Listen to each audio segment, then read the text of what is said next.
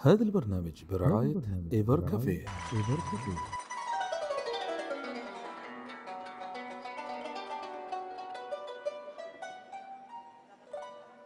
أسعد الله أوقاتكم. السلام عليكم ورحمة الله وبركاته. تقبل الله منا ومنكم صالحات الأعمال. اليوم راح نتكلم شوي عن موضوع غريب ألا وهو تفسير الأحلام. والكتاب المشهور والعالم المشهور في تفسير الأحلام محمد بن سيرين. ذلك العالم الجليل الذي نسب إليه الكثير من المؤلفات والتفسيرات في مجال الأحلام وهو للأسف بريء منها كبراءة الذئب من دم يوسف بن يعقوب عليهم السلام.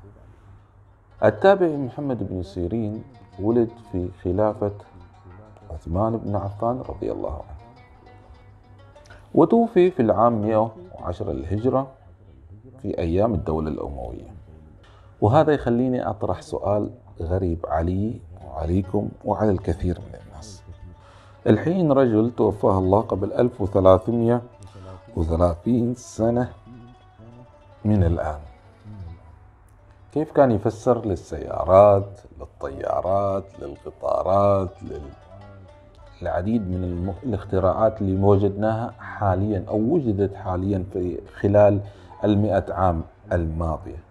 يعني على الأقل نخلي يكون عندنا شوية عقل. ما معقول أنك تفتح كتاب وتحصل أنه من تأليف محمد بن سيرين.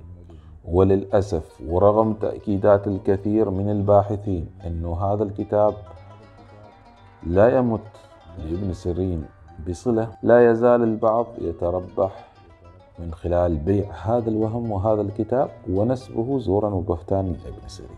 بالمختصر المفيد قبل لا تسلم عقلك لموقع أو شخص يدعي تفسير الأحلام وينسبها زورا وبهتانا لابن سيرين فكر بعقلك.